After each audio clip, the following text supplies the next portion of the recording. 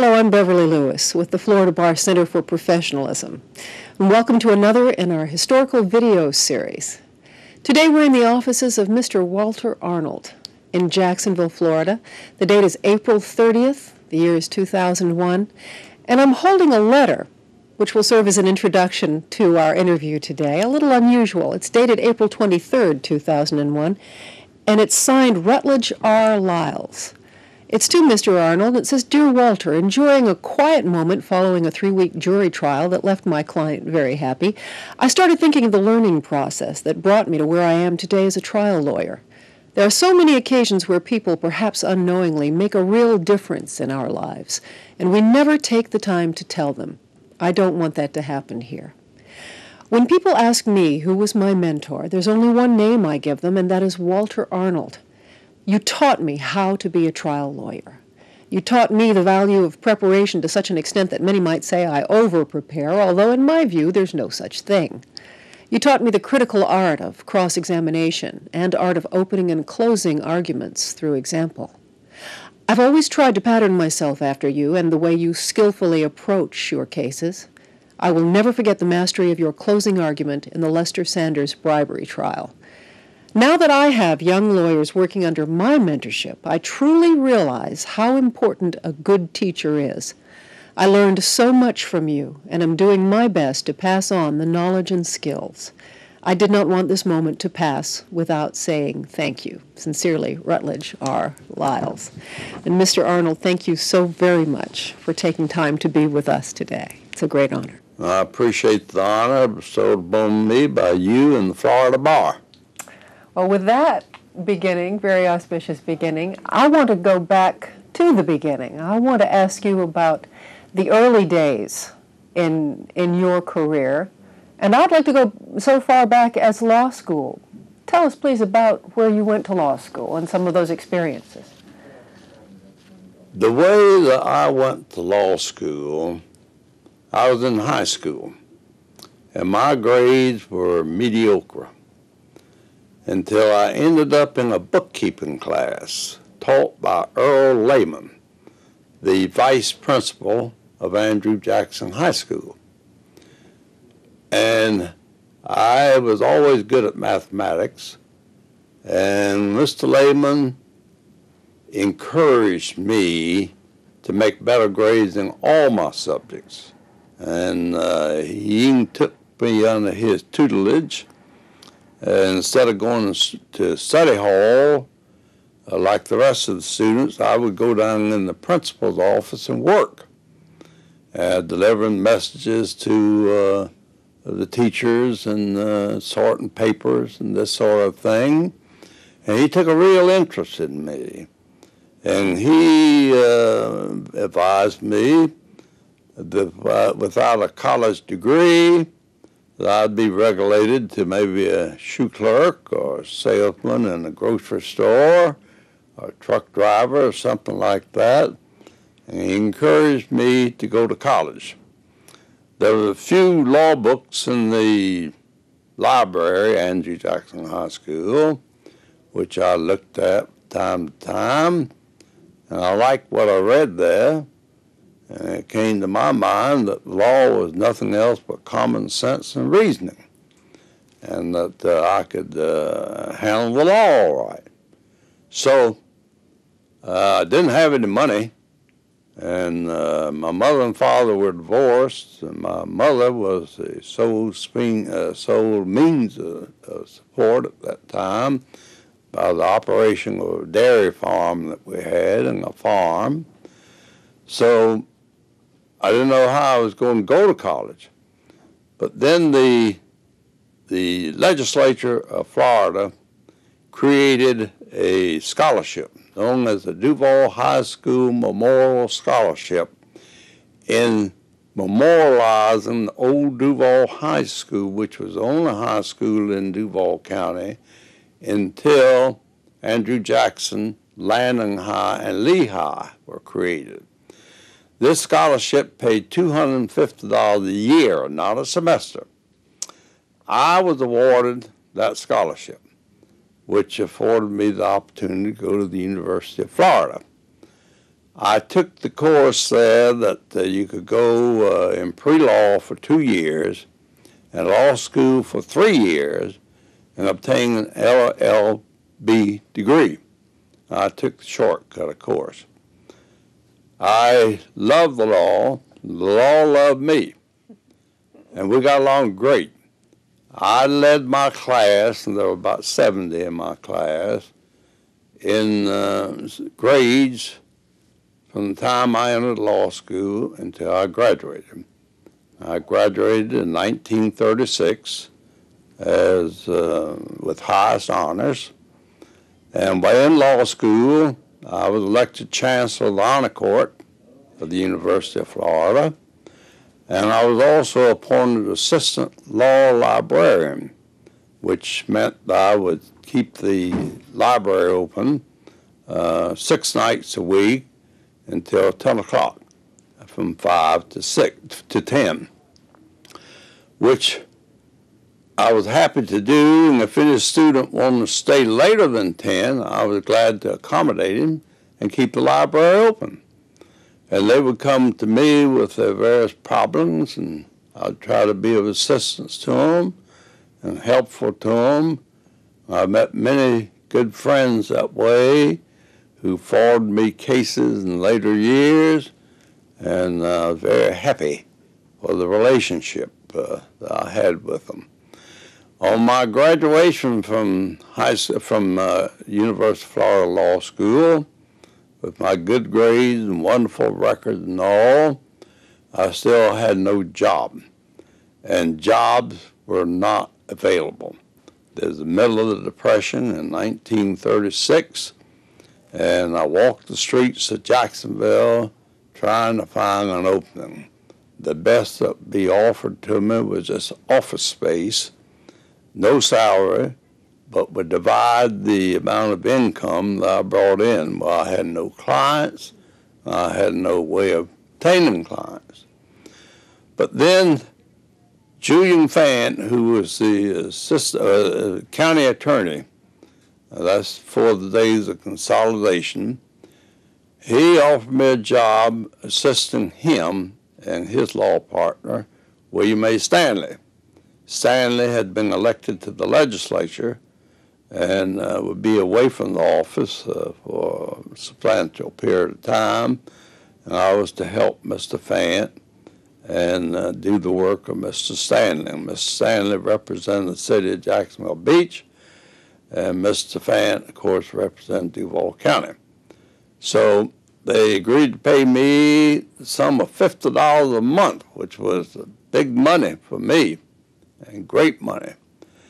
I stayed with Fant and Stanley until 1938 when they lost their majority on the Board of County Commissioners and Mr. Fant was no longer county attorney.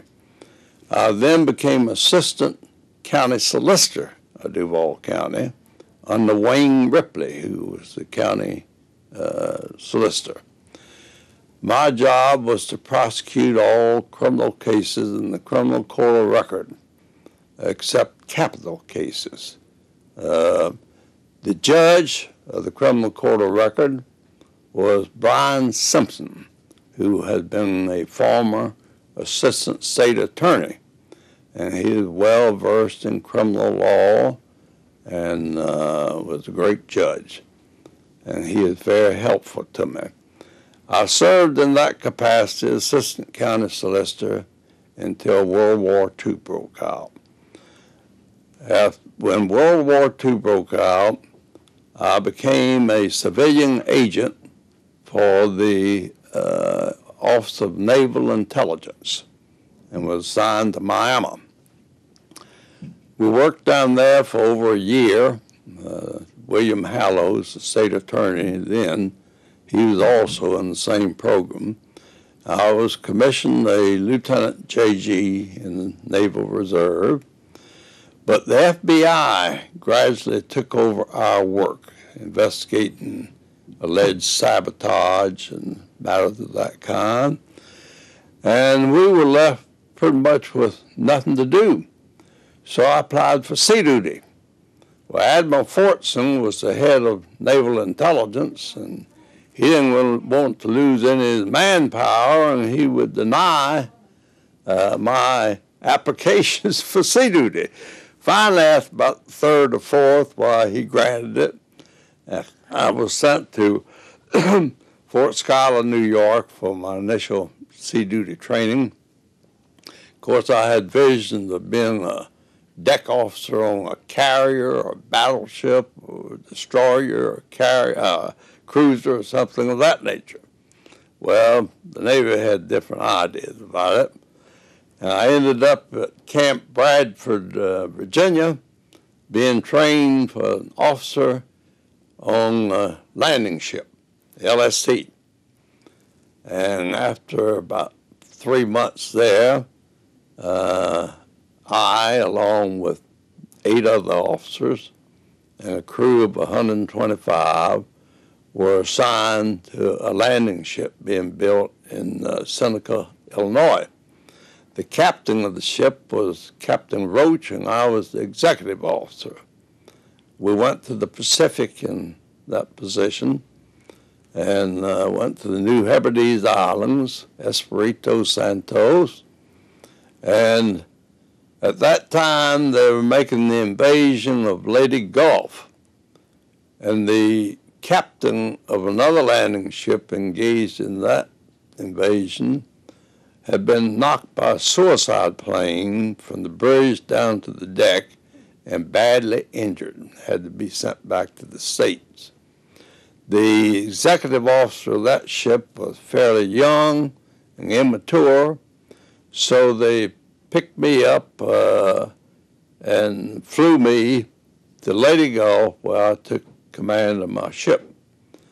And uh, not to get into great detail about it, uh, we made the invasions of Leyte Gulf, Corregidor, Mariveles Harbor, Subic Bay, Polloc Harbor, Zamboanga, Cebu City, and Brunei Bay, Borneo um, at which time the war ended.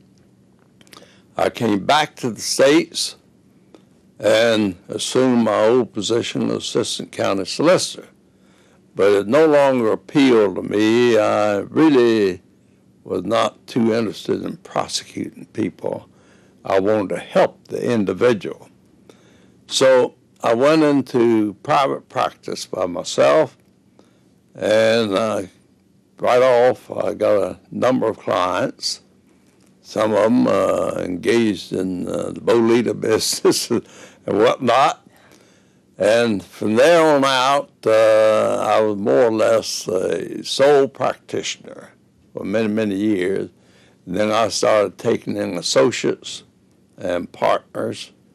And at one time, I had a firm with four lawyers in it and I helped train uh, my associates and my partners in primarily eminent domain law and criminal law. Those were my uh, chief interests. So I continued on that, and I still practice law to some extent in those fields. So that's just about the story of my legal career. Well, I, well, I wonder. You mentioned a few names in there who of people who were significant to you in your career. Is there anyone you particularly think of as a mentor during those years? My mentors were my mother and Earl Lehman before I went to law school. After I got in law school, I cultivated the friendship of three of the professors there Dean Harry Trusler, Judge Cockrell and Clarence TeSelle. And uh, they guided me and gave me help when it was necessary. After I got out of law school, my mentors was Julian Fant, who was employed me, Bryan Simpson, Judge Bryan Simpson, Judge DeWitt Gray, who was a senior circuit judge, and William Hallows, who was a state attorney and uh, they're the ones that gave I could go to for advice and uh, encouragement on how to handle cases. Was there anyone who really inspired you, who was a, a hero to you? No, not unless it was Earl Lehman, who uh, really got me started on thinking about going to college and making something out of myself. That that would be heroic in a young man's life. He was a hero in my books, yes. And and I hear the way you speak of your mother. I think and my mother. extraordinary. My mother was a good woman, and uh, she believed in doing the right thing, and she instilled that in her children. We talked earlier about uh, what working on a dairy farm will do for a young person. oh, that was seven days a week. You had to get up five o'clock in the morning and milk those cows and deliver milk. And this was for the days of what we call the no fence laws. And the cows were permitted to roam all over the territory wherever they wanted to go and I had a little marsh pony, in the afternoon I'd have to saddle up that pony, round up the cows, and bring them back in for more milking. that sounds like it might be good preparation. Then I had a paper route I carried for the old Jacksonville Journal. Oh my goodness.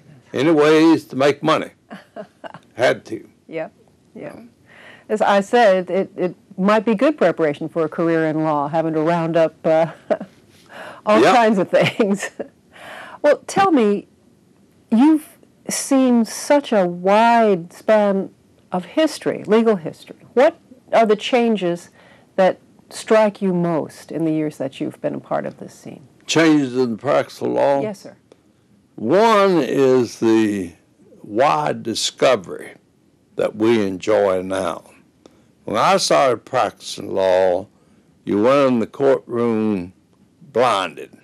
You didn't know who the witnesses were going to be on the other side. Uh, you didn't know what the uh, uh, state's uh, case was all about. Uh, now you you make discovery and ascertain all those that information before you ever try your case, which is very helpful and very useful in seeing that justice is done. Secondly, uh, when I started practicing law, there was less than 3,000 lawyers in the state of Florida. Today, I think there's over 60,000 lawyers in the state. At that time, when I started practicing law, lawyers were well respected. They uh, were looked up to. Uh, they were gentlemen. And they practiced law because they loved it and not just for the money in it. Uh, we had a few bad characters that chased ambulances and so forth, and they got rid of them. Now you have advertising, which I despise. I'm not saying that the lawyers that advertise are uh, not qualified, but going on and, and advertising to get clients and uh, holding themselves out and tooting their own horn just cheapens the profession in my books. And the eyes of the public, I think it's done the same thing. And that's one reason why the lawyers today are held in such uh, low esteem. That movies, TVs, which show lawyers in a bad light, has all uh, caused a degeneration in the image of the lawyer. Now, uh, this day and time, we have uh, uh, a lot of minorities, so-called minorities, in the practice of law, which I think is a good thing. The women, particularly, uh, most of them are hard workers and they want to be successful, and they're very good. So that's been an accomplishment. Uh, but those are the, the major changes. And another change, though, I should mention. Back when I started practicing law, most, the great majority of lawyers uh, were general practitioners. They handled divorces, civil suits, criminal cases, whatever came in the office, they handled. Because of the complexity of the law today, That's no longer possible, really, as a practical matter. You have to specialize and do two or three features of the law, and that, that's it, period. And really, it's a, it's a good thing because uh, uh, the lawyer that specializes is much more competent in that field than the general practitioner was back in the old days. I wonder what advice you would give to members of your profession. You talked about uh, seeing some of the changes that, that distress you. What do you think might be done to uh, to improve or to, to work for, for the better in, in your profession? The main thing that I think would be uh, for the better would to instill in the law student and young lawyers a better relationship between the lawyer and his client. Uh, to the client, when he has a lawsuit is in trouble in criminal law, that is a, a big chapter in his life. That's what he's thinking about day and night and he wants to be advised and informed. And it's the duty and obligation of the lawyer to keep his client informed and have frank and honest discussions with the client of, of uh, the, his chances if he goes to trial, or what to look for, or what his uh, best hope of success might be that sort of thing, and keep up that relationship all the way th- through the attorney-client uh, connection, uh, right through the end. Now that what brings other clients to you, in my opinion. The fact that you're honest with your client, you keep him informed or her informed, and they know what's going on. That's that's the uh, best thing. Another thing is for the lawyer to be prepared to study the case, to interview the witnesses. I don't leave it up to some uh, private investigator to uh, interview witnesses. I want to interview, particularly the main witnesses. I want to look at them and see what I think about their character and whether they're telling me the truth or not, and uh, to make my draw my own conclusions in reference to the witnesses. And to not only be prepared so far as the factual situation is concerned, but don't depend on the judge to know all the law. He can't possibly know all the law. Be prepared in the law, write up memorandums for the court to read and to help you understand uh, the case and to rule accordingly. All those things uh, uh, are very, very important. But the attorney client relationship is most important. Another thing, too, I think the law schools today should instill in the law students and young lawyers uh, the uh, respect for their fellow lawyers and the court.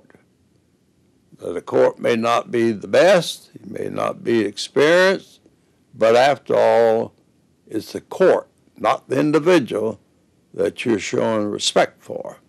And at all times, be respectful to them. And be respectful to your fellow lawyers and the witnesses. The witnesses, most of them are there against their will and consent anyway, and you don't need to be abusive to them. Get out be aggressive. Get the knowledge out of them that you want, the information, but don't be abusive. You don't have to be that. And you don't have to be abusive to your fellow attorneys either. I liked what you said earlier when we were talking about that and about preparation. You said know the case better than the witness knows the facts of the case. Know more about the case than your own client knows about it. And and how do you do that? Besides, well, you talked about spending time with the witnesses. You talked about knowing the law. But what is your particular personal secret for the success of that? Of knowing the witness? Yes. How do you how do you analyze Well, the people? You know, after you go through this thing time and time again, particularly the prosecutor and a defense attorney, you get, develop a knack of knowing whether they're shading the truth or whether they're really trying to uh, tell you everything that happened and the full knowledge that they have about the matter. Uh, it's just one of those things that you develop. So, Sounds like a lot and the same way with your client. hmm Uh, now, when your client comes in to your first interview, you just don't accept everything that he says as being absolutely the truth. You question him, and, and uh, if there's doubt in your mind about certain facts, you bear down on it to find out what the truth is, because it's absolutely essential in order to be a successful lawyer and successful in the case that you have the truth out of your client to start with. If you start out on a falsehood, you're in bad shape. You talked earlier about uh, law schools, law students. I wonder, what do you think of, of a mentoring program, an official sort of mentoring that's maybe a little more structured than the kind of informal mentoring that might have happened in previous years? Well, most of my experience has been informal mentoring, and I always cultivated the friendship of a more experienced uh, lawyer, older and more experienced lawyer or judge. For instance, uh, uh, Mr. Um, Fant, he was quite experienced and uh, quite a bit older than me. And also uh, Judge Simpson and uh, Judge Gray, William Hallows, the state attorney. I cultivated their friendship. Well, I'd take them to lunch every now and then, and uh, uh, where I could feel that I could go to them with my problems and get good advice. Now, so far as the formal mentorship is concerned, I think that'd be a, a pretty good idea too to work along these lines.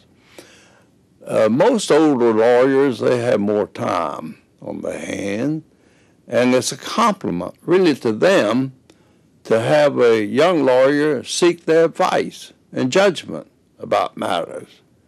And semi-retired lawyers, they're they're quite willing to give their time and uh, patience and advice to uh, young lawyers and to help them with their problems, give them recommendations and whatnot.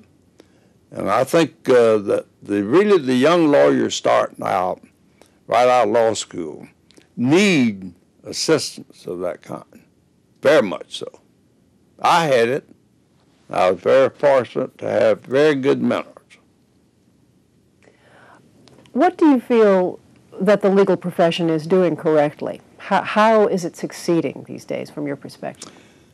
I think the the uh, legal profession is doing correctly in advocating the uh, seminars that do the educational programs that's being carried on today, which brings the lawyers up to abreast of uh, what the law is, because with all the appellate courts we have this day and time grinding out opinions, it's very, very hard to keep abreast of the of the major opinions, which would be helpful to them. Another thing in the field of discovery, I think they've done an excellent job there. Another thing that they're doing, the bar, the Florida bar, is uh, discipline some of these uh, lawyers that probably shouldn't have been lawyers in the first place, particularly those that neglect their clients, take their money, and don't do anything for them. Uh, I don't approve of that at all, or invade their trust accounts, uh, do other things uh, unethical, uh, illegal, unlawful, and uh, do not follow any moral standards. Get rid of them. And that's what Florida Bar is doing, which is a good thing. You know, it seems to me that you talked about your experiences in the war as redirecting your law career, that you really refocused uh, on a different avenue of practice after that. And I wonder, would you talk a little bit about that for us? Well, it did have a great impact on me. Back uh, when I first started in practicing, practicing law, and was assistant county solicitor, believe it or not, I was rather timid and self-conscious and uh, afraid maybe to do this, that, and the other. But in that man's Navy, when you were out there and the captain of a ship and everything was resting on your shoulder, you had to take responsibility. You had to make decisions and make them now. And you didn't have to, the, the luxury of calling on somebody else for advice. You had to do it yourself. And it taught me to be a person that stands on his own two feet, does his own thinking, and accept responsibility. And that's when I decided, after I got out of the Navy, that I would be a, a uh, sole practitioner defending people accused of crime or whose property was being taken by eminent domain in similar cases. You said it was the the responsibility of having all those people's fates in well, the palm of your hand. I had a crew of 125. I had eight officers under me, and we went in on an invasion. We carried 500 troops, and I was the man that had to see where the the minefields were, where the uh, uh, shoals were, where the Japanese fortifications were and all that is my responsibility, nobody else, and you couldn't push it off on anybody else. And it seems like there's a clear corollary between that kind of personal responsibility in battle to what you described as a big chapter in somebody's life when they're in need of counsel. That's right. But whereas a big chapter in somebody's life is only one life, back then in the war, it was hundreds of lives that depended on you That's very, very true. What is your definition then of professionalism to go above and beyond? Professionalism includes ethics, not only the ethics of the Florida bar, but also good moral standards, the difference between right and wrong, knowing that uh, your moral integrity, honesty. Professionalism goes further than that. Though. It means uh, competency. Uh, it also includes preparation of your cases, uh, wanting to help your client, a good attorney client relationship where the client's not afraid to ask you uh, what's going on, and you should tell him what's going on. Keep him or her advised that's important to them, very important, a lot more important it is to you. And to uh, be respectful to your fellow lawyers and uh, the judge, the court, and to conduct yourself properly and uh, through hard work and preparation, you'll be able to win your cases and you do it in a professional sort of a way. That's professionalism. You sound like a man who has had a strong moral compass his whole life. What would you say were the core beliefs or values of your life that have led you to this path? The core of my life, particularly since the war, is to help my fellow man. Be helpful. And when you're helpful, it not only helps the person, but it helps you. It makes you feel better. It makes you want to keep on doing the same thing. Let me ask you if you could wave a wand, or if you knew that your advice or your exhortation were going to have a complete effect, a profound effect on your profession, on law schools, uh, on, on the judiciary, what advice would you give if you knew that it were going to be followed? Hmm. Well,